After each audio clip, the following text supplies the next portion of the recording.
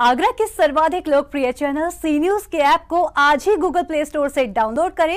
सी News channel के YouTube channel को भी सब्सक्राइब करें। और हाँ बेल आइकन को प्रेस करना ना भूलें। सरकार के मिशन शक्ति अभियान के बारे में केंद्रीय विधि मंत्री प्रोफेसर एस सिंह बघेल का कहना है कि इस अभियान से महिलाओं की लीडरशिप बढ़ेगी। आज महिलाएँ हर क्षेत्र में आगे निकलकर काम कर रही हैं। महिला सशक्तिकरण के लिए जितना योगी और मोदी जी की सरकार काम कर रही है उतना नहीं कर रहे हैं बाकी लोग। आधी आबादी और आधी आबादी के अलावा भी है कि महिलाएँ किसी भी जात और धर्म की हों। वो थोड़ी, कई क्षेत्रों में पिछड़ी होती हैं, क्योंकि दोयम दर्जे का भोजन होता है, पुरुष लोग पहले खाते हैं। जहाँ तक विद्यालय होते हैं, वहाँ तक पढ़ाया जाता था, बाहर नहीं भेजा जाता था। इसी प्रकार से स्पोर्ट्स में बहुत उनको लिबर्टी नहीं मिली, बहुत अच्छी प्रतिभा होने के बावजूद। तो इसीलिए हमको जनरल नॉलेज में ये पढ़ना पड़ा। कि who is the first IPS lady IPS अफसर तो हम लोग करण बेदी को याद करते हैं, अठहत्तर के बैच में। देश आज़ाद हो गया था सैंतालीस में और हर साल बैच आ रहे थे। तो सोचो आधी आबादी की एजुकेशन भी दोयम दर्जे की थी।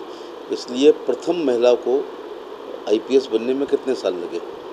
लेकिन आज महिला सशक्तिकरण का ये आलम है कि आई हो आईपीएस हो आईएफएस हो आईआरएस हो यू पी हो, हर बैच में महिलाएँ निकल रही हैं। लेकिन कायदे में तो आधी कुर्सियों को घेरना चाहिए उनको। तो मोदी जी का धन्यवाद कि एक जो अवेयरनेस ला रहे हैं वो लोग और जो महिलाएँ पर्दा प्रथा में हैं और बाल विवाह इस सरकार में बहुत स्ट्रिक्टली रोके गए हैं। हम लोग कुछ ऐसे पुरस्कार दे रहे हैं कि विधवा पेंशन हो।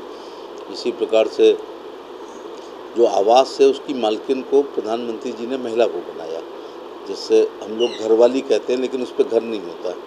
तो कहते हैं घरवाली, लेकिन मोदी जी ने घरवाली बना दिया, क्योंकि प्रधानमंत्री आवास की चाबी महिला के हाथ में ही आई है। तो ये महिला सशक्तिकरण के दिशा में बड़ा कदम हो रहा है, और अभी आप देख रहे हो कि army air force, navy C R P B S F I T B P C I S F paramilitary force में महिलाओं का भी आरक्षण कर दिया गया है। ये एक बहुत बड़ी बात है। जुडिशरी में बीस परसेंट आरक्षण महिलाओं के लिए किया गया। तो आज महिला सशक्तिकरण में बहुत अच्छा काम हो रहा है और महिलाएँ आगे आ, आ रही हैं। और ये एक उनसे कॉन्टेक्ट एक कहावत है अंग्रेज़ी में कि give me a fish and I eat for a day teach me to fish and I eat for a life एक मछली दे दोगे तो एक दिन खा लेंगे। मछली मारना सिखा दोगे तो ज़िंदगी भर खा सकेंगे। मछली का उदाहरण यूरोप का है।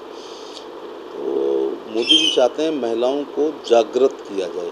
जिससे वो अपने पैरों पर खड़ी हो जाए। तो ये एक अच्छी योजना है।